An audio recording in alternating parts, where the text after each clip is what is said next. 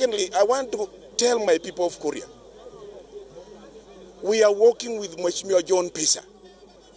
If they love me, let's work and work with Mheshimiwa John Pesa.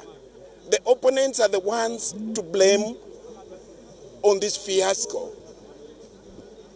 of Matiko digism. The, the opponents are the one who came up with a lot of technical issues that they were going to collapse the entire candidature, and they're the ones who should not even be allowed to campaign in Kuria.